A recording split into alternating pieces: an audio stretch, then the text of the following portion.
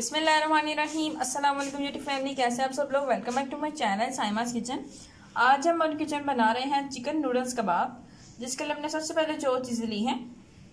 बिस्मिल्लाहिर्रहमानिर्रहीम जी, सबसे पहले हमने नूडल्स ले लिए हैं। तीन पैकेट नूडल्स के थे, इनको हमने अच्छे से बॉईल कर लिया नमक डाल के। अब हम इसमें शामिल करेंगे चिकन एक प्याली के करीब चिकन है, इसको भी मैंने बॉईल कर लिया था।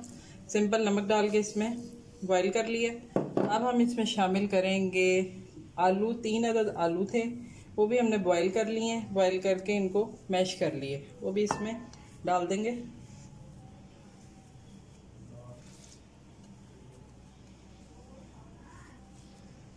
अब हम इसमें शामिल करेंगे प्याज। एक छोटे साइज़ की प्याज ले ली थी, इसको बारीक हमने चॉप कर लिया ये इसमें शामिल कर देंगे। अब हम इसमें शामिल करेंगे थोड़ा सा धनिया। इसको मैंने बारीक बारीक काट लिया और धो लिया। ये शामिल कर देंगे और यहाँ हम डालेंगे इसमें ब्रेड क्रम्स हैं तकरीबन फाइव टेबल स्पून के करीब। ये इसमें शामिल कर देंगे। ये होममेड ब्रेड क्रम्स हैं। ये हमने बना के रखे होते हैं। इसमें शामिल कर दिया। अब हम इसमें शामिल करेंगे नूडल्स का मसाला है, जो इसके अंदर नूडल्स के अंदर पैकेट होते हैं। तीन नूडल्स का मसाला, वो इसमें हम शामिल कर देंगे। अब इसमें शामिल करेंगे हम थोड़ी सी oyster sauce one tablespoon के करीब, ये शामिल कर देंगे।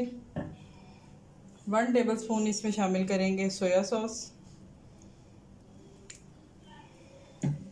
अब हम इसमें शामिल करेंगे मसाले, तकरीबन वन टीस्पून के करीब नमक शामिल करेंगे।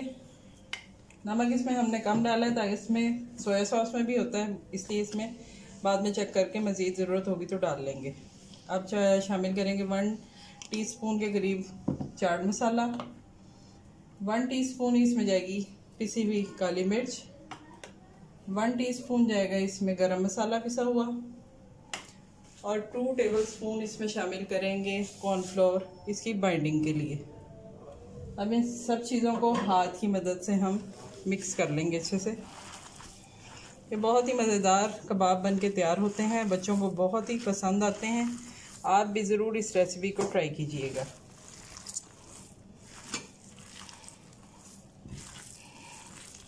तो आप देख सकते हैं, ये हमारा मसाला रेडी हो चुका है चिकन नूडल्स कबाब के लिए। अब हम इसे तकरीबन पाँच मिनट के लिए रखेंगे रेस्ट पे, फिर हम इसके कबाब बनाएँगे। हमारा बैटर रेडी हो चुका है, इसका मिक्सचर हमने तैयार कर लिया, अब हम बनाएँगे कबाब हाथों को थोड़ा सा ग्रीस कर लें ऑयल के साथ।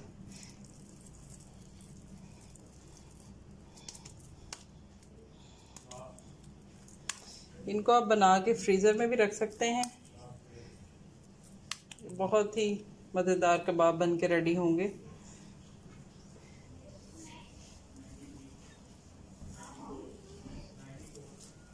जी तो व्यूअर्स अगर आप मेरे चैनल पे नए हैं तो मेरे चैनल को सब्सक्राइब करें।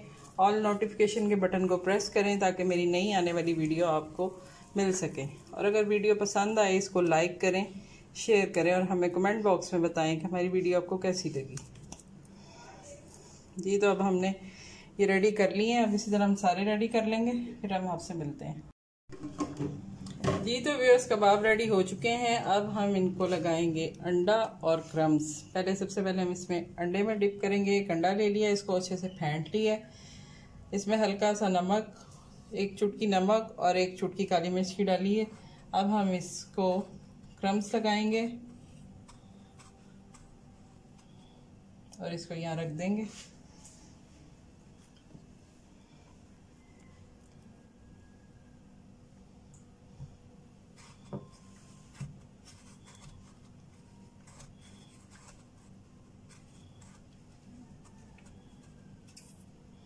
अब हम इसी तरह सारे रेडी कर लेते हैं, फिर हम आपसे मिलते हैं।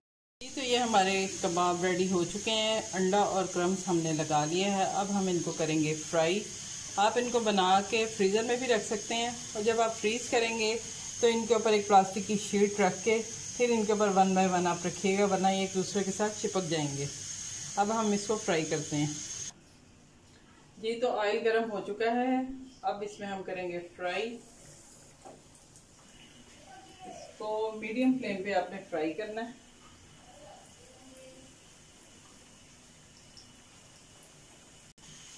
जी तो व्यूअर्स आप देख सकते हैं, हमारे कबाब फ्राई हो रहे हैं। इनकी अब साइड चेंज कर ली हमने। बहुत ही मज़ेदार सी खुशबू आ रही है। और बड़े ही खस्ता से कबाब बन के तैयार हुए हैं ये। अचानक से मेहमान आ जाएँ, आप ये कबाब बनाएँ और अपने मेहमानों को खुश करें। आपके मेहमान आपसे खुश हो जाएँगे। नूडल्स चिकन कबाब रेडी हो चुके हैं। अब हम आपको बताते हैं कैसे बने हैं। टेस्ट करके बताएँगे।